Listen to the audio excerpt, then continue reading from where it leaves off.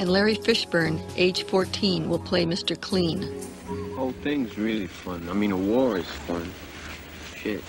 You can do anything you want to. That's why Vietnam must have been so much fun for the guys that were out there.